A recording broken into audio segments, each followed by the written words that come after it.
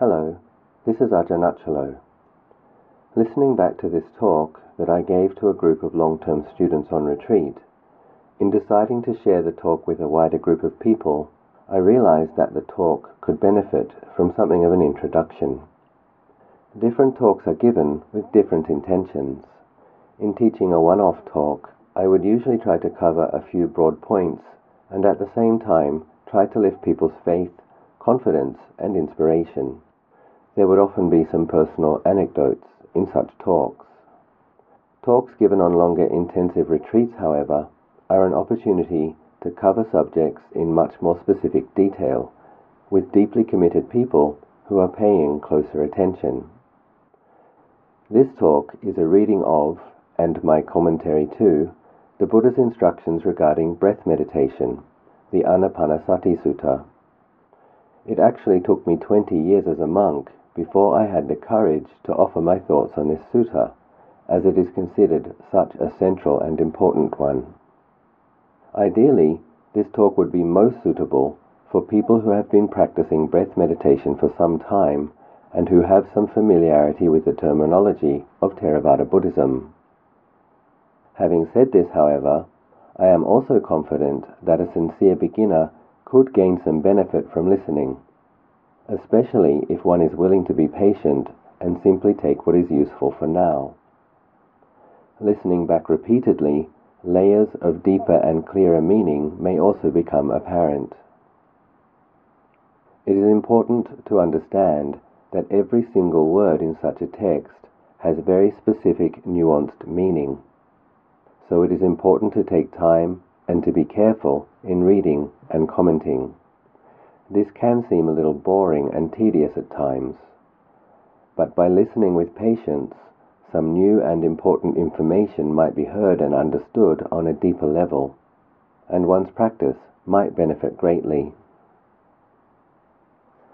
Because the phrasing of such texts can sound a little archaic and tediously repetitive at times, Listeners will need to be patient, sincere, and determined. Acknowledging that the Lord Buddha himself says within this very text that this practice of breath meditation, when cultivated sincerely and consistently, essentially leads to the enlightened state, should be a good way to stimulate some genuine interest. Please be patient with the introduction, which is mostly setting the scene and context. The actual instructions begin a few minutes into the talk. Because Lord Buddha is addressing a group of male celibate monks exclusively in this teaching, the language is gender specific. Modern people can find this offensive. Please try to listen to the information that the Buddha was sharing with the monks, recognizing that the information has nothing to do with gender. When the Buddha addressed nuns only on other occasions, his language would have been gender specific to them as well. It is in fact quite amazing that we can hear teachings that were given to monks more than 2,500 years ago, and many of the great practitioners listening to the original teaching would have actually become enlightened while listening. So let us approach this teaching with gratitude, awe, and respect. I sincerely hope that something in this talk is useful to you wherever you are now. The Anapanasati Sutta, mindfulness of breathing. As I was saying, reading the suttas can be challenging because the profundity and the density of the meaning, every single word in some of these suttas has very specific meaning. So I'll try to explain it to the best of my ability understanding that all of these things are subject to interpretation, and I'll do my best. At the very least, we'll see that this is a very profound practice, one that leads onwards. Thus have I heard. On one occasion, the Blessed One was living at Savatthi in the Eastern Park, in the palace of Migara's mother, together with many very well-known elder disciples, the Venerable Sariputta, the Venerable Mahamoggallana, the Venerable Mahakassapa, the Venerable Mahakaccana, the Venerable Mahakotthita, the Venerable Mahakappina, the Venerable Mahachunda, the Venerable Anuruddha, the Venerable Revata, the Venerable Ananda, and other very well known elder disciples. Now, on that occasion, elder bhikkhus had been teaching and instructing new bhikkhus. Some elder bhikkhus had been teaching and instructing 10. Some elder bhikkhus had been teaching and instructing 20, 30, 40 bhikkhus. And the new bhikkhus, taught and instructed by the elder bhikkhus, had achieved successive stages of high distinction. On that occasion, the Uposatha day of the 15th, on the full moon night of the Pavarana ceremony, the Blessed One was seated in the open, surrounded by the Sangha of bhikkhus. Then, surveying the silent Sangha of bhikkhus, he addressed them thus Bhikkhus, I am content with this progress. My mind is content with this progress. So arouse still more energy to attain the unattained, to achieve the unachieved, to realize the unrealized. I shall wait here at Savatthi for the full moon of the fourth month. The bhikkhus of the countryside heard, the Blessed One will wait there at Savatthi for the Kaumudi full moon of the fourth month. And the bhikkhus of the countryside left in due course for Savatthi to see the Blessed One. The full moon night of the Kaumudi full moon of the fourth month, the Blessed One was seated in the open, surrounded by the Sangha of bhikkhus. Then, surveying the silent Sangha of bhikkhus, he addressed them thus Bhikkhus, this assembly is free from prattle. This assembly is free from chatter. It consists purely of heartwood. Such is the Sangha of Bhikkhus. Such is this assembly. Such an assembly as is worthy of gifts, worthy of hospitality, worthy of offerings, worthy of reverential salutation, an incomparable field of merit for the world. Such is this Sangha of Bhikkhus. Such an assembly that a small gift given to it becomes great, and a great gift greater such an assembly as is rare for the world to see, such an assembly as would be worth journeying many leagues with a travel bag to see. In this Sangha of bhikkhus, there are bhikkhus who are arahants, with taints destroyed, who have lived the holy life, done what had to be done, laid down the burden, reached their own goal, destroyed the fetters of being, and are completely liberated through final knowledge. Such bhikkhus are there in this Sangha of bhikkhus.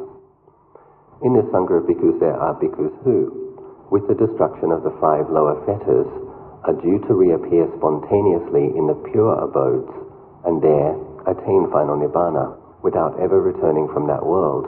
Such bhikkhus are there in this Sangha of bhikkhus. In this Sangha of bhikkhus, there are bhikkhus who, with the destruction of the three fetters and with the attenuation of lust and hate and delusion, are once returners, returning once to this world to make an end of suffering. Such bhikkhus are there in this Sangha of bhikkhus. In this Sangha of bhikkhus there are bhikkhus who, with the destruction of the three fetters, are stream enterers, no longer subject to perdition, the hell realms, etc., bound for deliverance, headed for enlightenment. Such bhikkhus are there in this Sangha of bhikkhus.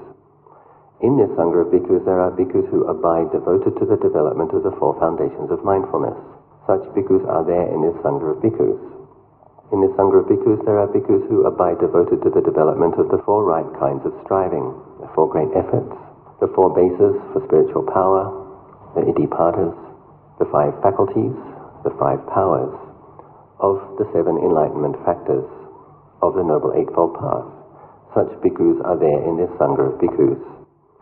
In this Sangha of Bhikkhus, there are bhikkhus who abide devoted to the development of loving kindness, of compassion, of altruistic joy, of equanimity, the meditation on foulness, of the perception of impermanence. Such bhikkhus are there in this Sangha of bhikkhus. In this Sangha of bhikkhus, there are bhikkhus who abide devoted to the development of mindfulness of breathing. This is a section on mindfulness of breathing. And this is this very profound paragraph I mentioned earlier. Bhikkhus, when mindfulness of breathing is developed and cultivated, it is of great fruit and great benefit. When mindfulness of breathing is developed and cultivated, it fulfills the four foundations of mindfulness. When the four foundations of mindfulness are developed and cultivated, they fulfill the seven enlightenment factors. When the seven enlightenment factors are developed and cultivated, they fulfill true knowledge and deliverance. One paragraph. By practicing mindfulness of breathing, one becomes aware of the body as a body, feelings as feelings, mind objects as mind objects, and dhammas as dhammas, and in that process cultivates seven factors of enlightenment, in cultivating those, the mind is delivered to Nibbana. So Lord Buddha is obviously addressing a gathering of people whose spiritual qualities and merit are extraordinary. Obviously, having cultivated a lot of virtue in previous lives, to have the merit and the spiritual faculties, to have Lord Buddha praising them for their composure and for the development of their practice. Can you imagine receiving instruction from Sariputta and Mahamoggallana and uh, attaining successive stages of high distinction? It is, of course, where this kind of practice goes. That's, I'm going to stop and make a few comments throughout the sutra about, because sometimes we read these things and we can actually feel a little disheartened because other people seem to attain successive stages of high distinction quickly, and uh, for us it can be a bit of a struggle.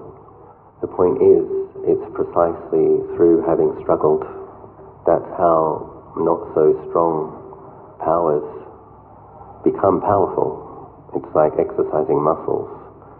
So we understand that all of these people have practiced breath meditation, have been cultivating the five spiritual powers, etc., for a good number of lives, and now from all the merit of that and their karmic connection to the practices, they find themselves in this situation, perfect situation for finishing off the practice.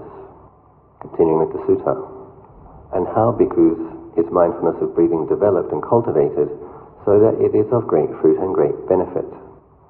Here, a bhikkhu gone to the forest, or to the root of a tree, or to an empty hut, sits down, having folded his legs crosswise, set his body erect, and established mindfulness in front of him. Ever mindful he breathes in, and mindful he breathes out.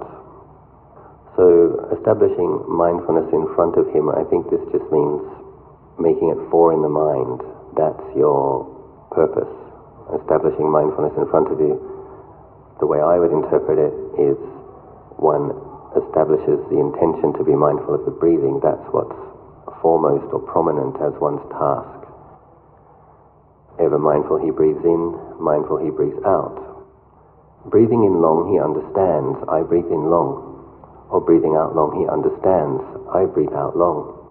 Breathing in short he understands, I breathe in short breathing out short, he understands I breathe out short. So, understand, I would interpret as meaning mindfully aware, knowing the quality of the breath. So, it's just an example. It's not a concept, it's not a theory. Breathing in long, one knows one is breathing in long, so that just means you are aware of the quality of the breath as you are breathing it. If it's long, you know it as it's long. If it's short, you know it as it's short. It's present moment, mindful awareness, aware of the quality of the breath. He continues, he trains thus. I shall breathe in experiencing the whole body of breath. He trains thus. I shall breathe out experiencing the whole body of breath, knowing the entire breath, beginning, middle, end, knowing the entire out breath, beginning, middle, end, etc. I shall breathe in tranquilizing the bodily formation. He trains thus. I shall breathe out tranquilizing the body formation.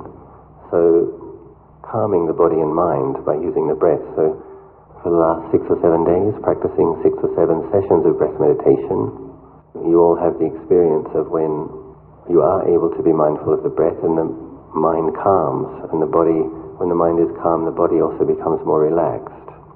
That's how I understand this, so using the breath meditation to incline the mind to peacefulness and the body to well-being. Continuing, he trains thus, I shall breathe in experiencing rapture. He trains us, I shall breathe out experiencing rapture. He trains us, I shall breathe in experiencing pleasure. He trains us, I shall breathe out experiencing pleasure.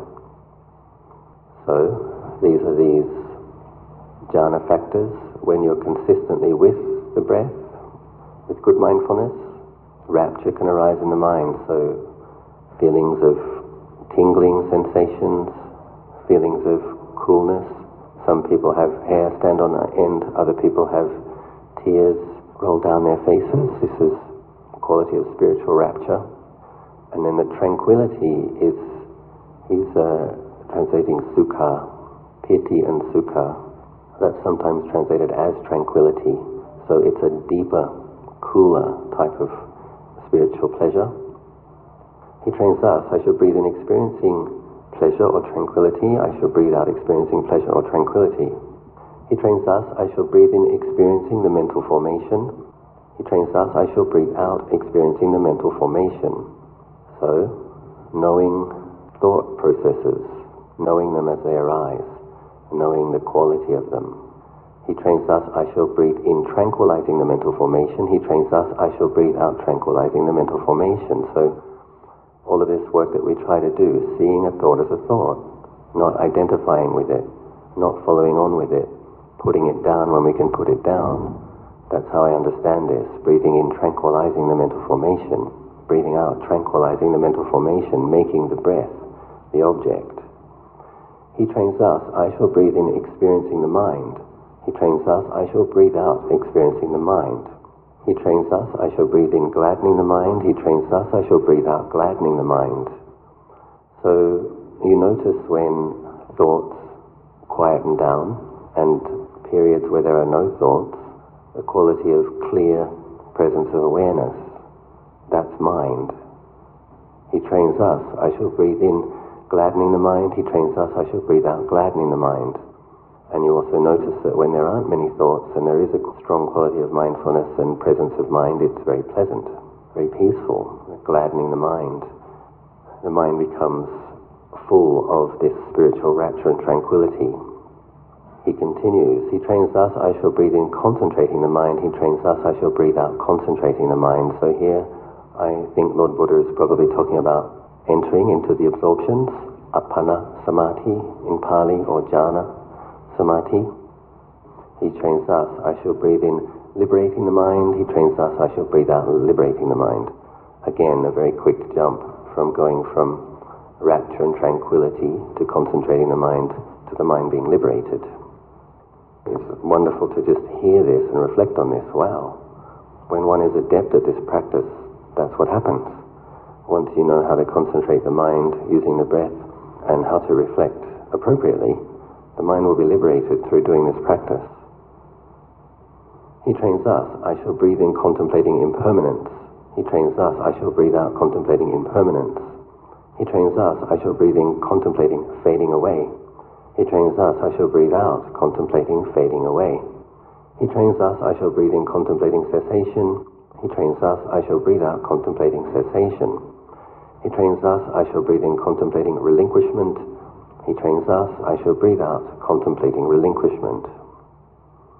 So these other suttas that we've been reading, pointing to this process, we have the Anattalakkhana Sutta where the five bhikkhus contemplating that the khandhas are not a self, they can't find a self there. Lord Buddha instructs them to not see it as a self, to actually see it as this is not I, not mine in doing that with their right spiritual faculties, they had the experience of nibbida, weariness, and dispassion. Then the mind was liberated through clinging no more. So it's a very similar thing. It's in seeing the characteristics fading away. So what is it that's fading away? It's the craving and the clinging based on seeing that they are dukkha. In the fire sermon, the Buddha is asking those fire worshipping ascetics to look at the sense bases and see the way that they're on fire with greed, hatred, and delusion. Similarly, when those thousand matted hair fire ascetics, previous matted hair fire ascetics, by then they'd gone forth as bhikkhus, when they saw that the five sense bases were on fire with great hatred, and delusion, weariness arose, seeing it clearly dispassion arose and their minds were liberated through not clinging. So in this paragraph, I shall breathe in contemplating fading away. I shall breathe out contemplating fading away. So my interpretation is that the process that's occurring. One is seeing the fading away of craving fueled by delusion, inspired by weariness and dispassion. So with the weariness and the dispassion, and very, very, very clear mindfulness and some samadhi, not feeding the delusion, the delusion fades away. He trains us, continuing, breathing in, contemplating cessation, breathing out, contemplating cessation. So the cessation of craving, the cause of suffering in the Second Noble Truth that we also studied. Three types of craving. The truth of the liberation from suffering, abandoning the causes of suffering, relinquishing, giving up the craving. In doing that, you're going to see the cessation. Cessation that the influence of craving has on your mind. A clear and composed mind, seeing the downside of grasping and clinging, seeing it clearly, seeing through the delusion, seeing the truth, you will see, the meditator will see the cessation of the causes of suffering. They will see cessation of the craving occur in their mind relinquishing it. He trains thus, I shall breathe in contemplating relinquishment. He trains us, I shall breathe out contemplating relinquishment. Because that is how mindfulness of breathing is developed and cultivated, so that it is of great fruit and great benefit. Relinquishing greed, hatred, and delusion, the mind is liberated through not clinging. This is a section on the fulfillment of the four foundations of mindfulness, and how bhikkhus, does mindfulness of breathing, developed and cultivated, fulfill the four foundations of mindfulness? Bhikkhus, on whatever occasion a bhikkhu breathing in long understands, I breathe in long, or breathing out long understands, I breathe out long, breathing in short understands, I breathe in short, or breathing out short understands, I breathe out short. Trains thus, I shall breathe in experiencing the whole body of breath. Trains thus, I shall breathe out experiencing the whole body of breath Trains thus, I shall breathe in tranquilizing the body formation. Trains thus, I shall breathe out tranquilizing the body formation. On that occasion, a bhikkhu abides contemplating the body as a body, ardent, fully aware, and mindful, having put away covetousness and grief for the world. So Lord Buddha is saying this practice that we've been doing, being aware of each breath, inclining the mind to peacefulness, and just holding the awareness in the body, aware of that breath, this is fulfilling mindfulness of the body. Putting away covetousness and grief, so that means not picking up liking and disliking, basically, is how I would see that phrase. So keeping the mind in the middle, as Luang Por says, keeping the mind even, not craving for or not for. Continuing. I say this is a certain body among the bodies, namely in breathing and out breathing, that is why on that occasion a bhikkhu abides contemplating the body as a body, ardent, fully aware and mindful, having put away covetousness and grief for the world. Bhikkhus, on whatever occasion a bhikkhu trains thus, I shall breathe in experiencing rapture. Trains thus, I shall breathe out experiencing rapture. Trains thus, I shall breathe in experiencing pleasure. Trains thus, I shall breathe out experiencing pleasure. Trains thus, I shall breathe in experiencing the mental formation, Trains thus, I shall breathe out, experiencing the mental formation. Trains thus, I shall breathe in, tranquilizing the mental formation. Trains thus, I shall breathe out, tranquilizing the mental formation. On that occasion, a bhikkhu abides contemplating feelings as feelings, ardent, fully aware, and mindful, having put away covetousness and grief for the world. I say that this is a certain feeling among the feelings, namely, giving close attention to in-breathing and out-breathing. So that is why on that occasion a bhikkhu abides contemplating feelings as feelings, ardent, fully aware and mindful, having put away covetousness and grief for the world. So you're engaged in the process, placing your awareness on the breathing. It's the coarse feelings of the physical body breathing at first, but as the mind becomes peaceful, the feeling that you become mindful of is the feeling of rapture, mental feelings, more subtle mental feelings and then of the deeper passaddhi, tranquility, and becoming mindful of mental formations and then pacifying them, tranquilizing them, and that's a feeling, a tranquil feeling, a serene feeling, very, very palpable. That feeling arises because of a good, clear quality of mindfulness, and then one is mindful of that feeling, holding it in a very clear, full, mindful awareness. Lord Buddha is saying this is cultivating, fulfilling mindfulness of feelings. Bhikkhus, on whatever occasion a bhikkhu trains thus, I shall breathe in experiencing the mind. Trains thus, I shall breathe out experiencing the mind. Trains thus, I shall breathe in gladdening the mind.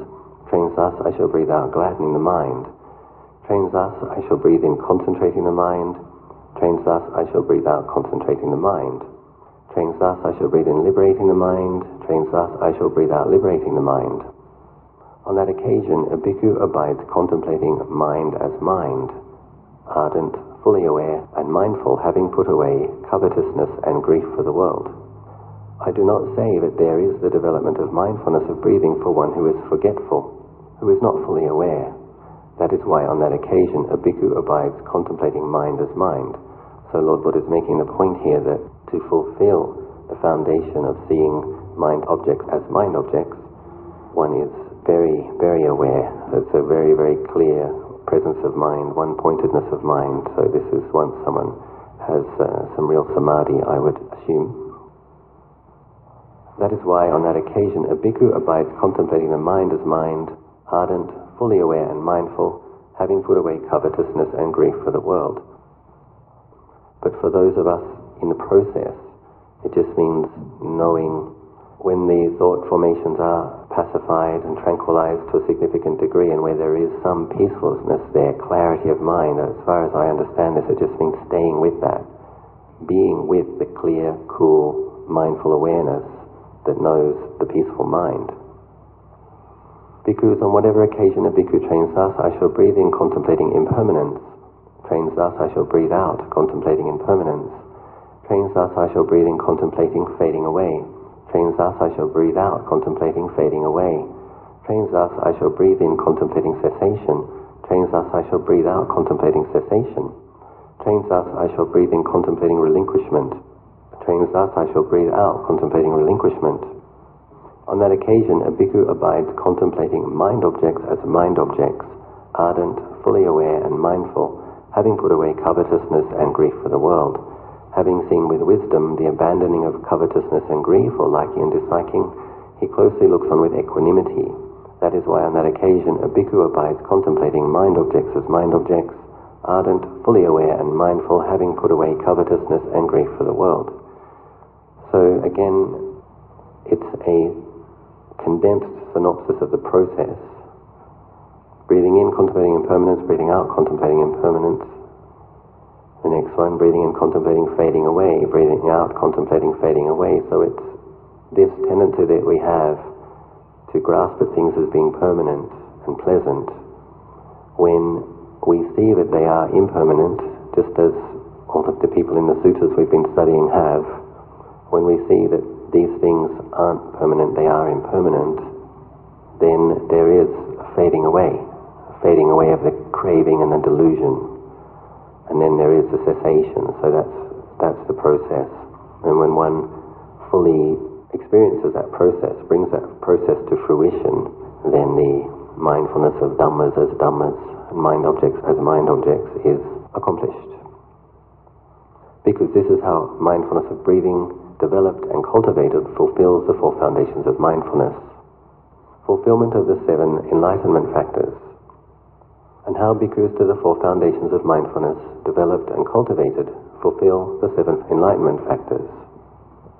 So, seven enlightenment factors mindfulness, investigation into Dhamma, energy, rapture, tranquility, concentration, and equanimity.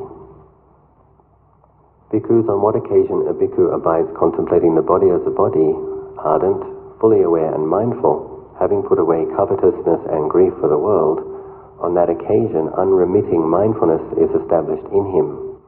On whatever occasion unremitting mindfulness is established in a bhikkhu, on that occasion the mindfulness enlightenment factor is aroused in him, and he develops it, and by development it comes to fulfillment in him. Abiding thus mindful, he investigates and examines that state with wisdom and embarks upon a full inquiry into it. On whatever occasion, abiding thus mindful, a bhikkhu investigates and examines that state with wisdom and embarks upon a full inquiry into it. On that occasion, the investigation of states enlightenment factor is aroused in him, Dhamma Vichaya. So, you have experience now of when the mind is peaceful and clear. There is sometimes some people translate mindfulness as truth discerning awareness. So when mindfulness is clear, not absorbing into a tranquil one pointed state, but when there's just that quality of being very, very aware, noticing the characteristics of things. So you just notice the breath arises. There's many different feelings in it. It ceases. There's a space. There's another breath. Feelings in the body arising, changing. Clear mindfulness sees this. So seeing this clearly and paying attention to the characteristics, this is an investigation into Dhamma. That's how I interpret it anyway. And by development, it comes to fulfillment in him. In one who investigates and examines that state with wisdom and embarks upon a full inquiry into it, tireless energy is aroused. On whatever occasion tireless energy is aroused in a bhikkhu who investigates and examines that state with wisdom and embarks upon a full inquiry into it, on that occasion the energy enlightenment factor is aroused in him, and he develops it, and by development it comes to fulfillment in him. So I'm sure you all have experience of that when the mindfulness is really good and the clarity is really good and you're seeing things according to their true nature. The mind is very, very awake and there's a lot of energy because the hindrances fall away, the hindrance of sloth, the hindrances of restlessness, and what is left is that very, very awake, very, very bright, very, very clear mind. A lot of energy, factor of enlightenment. In one who has aroused energy, unworldly rapture arises, spiritual rapture. On whatever occasion unworldly rapture arises in a bhikkhu who has aroused energy, on that occasion the rapture enlightenment factor is aroused in him, and he develops it, and by development it comes to fulfillment in him. So some people experience rapture as tingling sensations all throughout the, the body and mind. Other people might experience it like deep, cool well of water other people experience rapture like a vast sense of space. Others experience rapture as being a, a heavy and dense but very peaceful feeling. Various types of rapture that come from a mind collecting. In one who is rapturous, the body and the mind become tranquil. On whatever occasion the body and the mind become tranquil, in a bhikkhu who is rapturous, on that occasion the tranquility enlightenment factor is aroused in him and he develops it, and by development it comes to fulfillment in him. So some of my teachers have explained rapture as being like waves on an ocean, and the tranquility is when one dives deeper into a vast, still coolness. So when one experiences rapture in meditation, my teachers have encouraged me to not grasp, not cling, keep the mind on the meditation object and basically go deeper. There is that in us that wants to delight in it. It's very pleasant. But uh, the wise teachers are saying, just stay with the object, stay with the object, keep refining the mindfulness. And what happens is the mind moves through the rapture, which compared to tranquility, when you first start to experience it, it's so, it's so wonderful and it's exciting, it's very blissful. But compared to tranquility, it's actually quite coarse. So when people become accustomed to a very, very deep, cool, peaceful, vast, peaceful feeling, that's what occurs when one cultivates concentration past rapture into tranquility. So in one who's rapturous, the body and the mind become tranquil. On whatever occasion the body and the mind become tranquil in a bhikkhu who is a rapturous, on that occasion the tranquility enlightenment factor is aroused in him and he develops it, and by development it comes to fulfillment in him. In one whose body is tranquil and who feels pleasure, the mind becomes concentrated.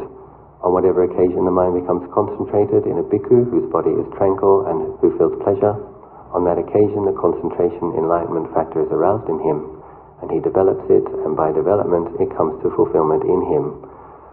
So in training, in concentration, one places the mindfulness on an object, stays with that object consistently, mindful of it, rapture arises, maintaining the mindfulness, tranquility deepens, allowing the mind to be with the tranquility and still with the meditation object, the mind absorbs into one-pointedness. Concentration enlightenment factor is aroused in him and he develops it. By the development, it comes to fulfillment in him. He closely looks on with equanimity at the mind thus concentrated.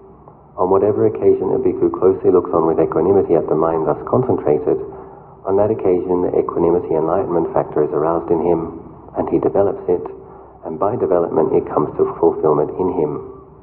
Bhikkhus, on whatever occasion a bhikkhu abides contemplating feelings as feelings, ardent, fully aware and mindful, having put away covetousness and grief for the world, the equanimity enlightenment factor is aroused in him, and he develops it, and by development it comes to fulfillment in him.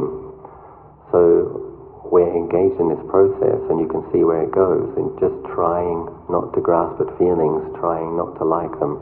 Lord Buddha says, having put away covetousness and grief, so we're engaged in that struggle. We're trying to put away our covetousness and grief, sometimes succeeding when there isn't any strong liking or disliking. But you can see as it deepens, Lord Buddha explains, equanimity enlightenment factor is aroused in him, and he develops it. By development, it comes to fulfillment in him.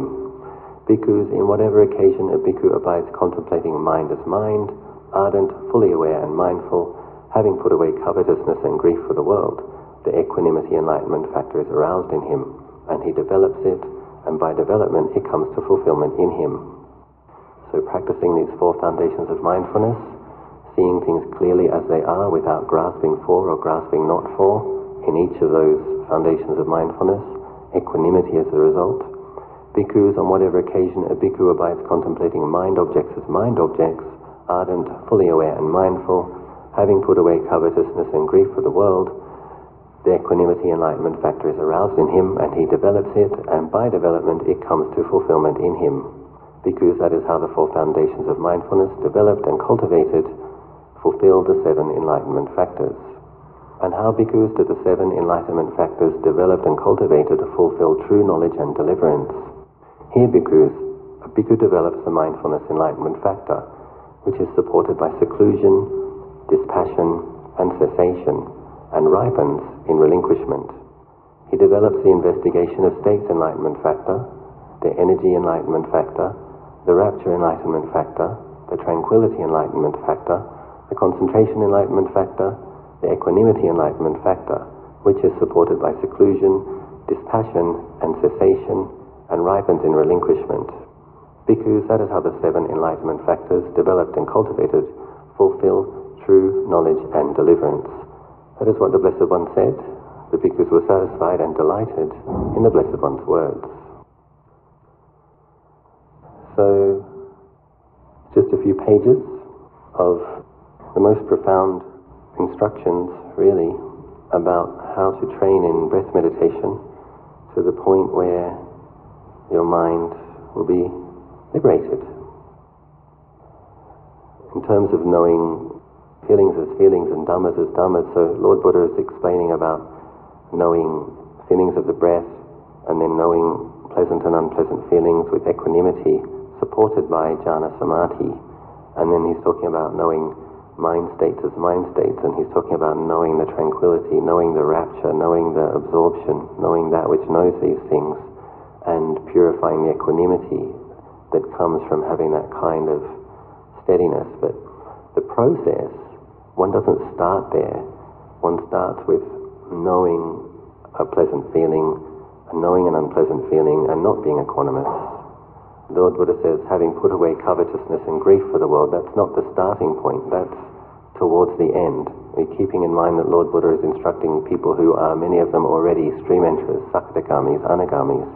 So he's training people who have established a large amount of equanimity. He's training them in purifying their equanimity. The process of establishing equanimity is a different story, and that's what many of us are working with. But it is helpful to have a roadmap and to see where this goes. All of our efforts to be more equanimous, all of our efforts to put down craving for pleasant feelings, aversion to unpleasant feelings, all of our efforts to be mindful of thoughts and then try to let them go. All of that that we do, try to keep the mind in the middle. The quality of the Dhamma talk that Ajahn Sumedho gave that I was reading yesterday, he was saying even knowing misery and knowing despair, he wasn't instructing people to be perfectly equanimous. He was instructing people to know these mind states and see them as inevitable and natural and not something to make a problem out of. So this is part of the process of training in mindfulness. Often we have to be mindful of a mind that isn't yet peaceful, a mind that isn't yet rapturous. We have to be mindful of a mind that hasn't given up covetousness and grief for the world. But in the process, we have periods of more tranquility. We have periods of rapture. We have periods of concentration. We have occasions where we are able to put down painful thoughts and painful mind states.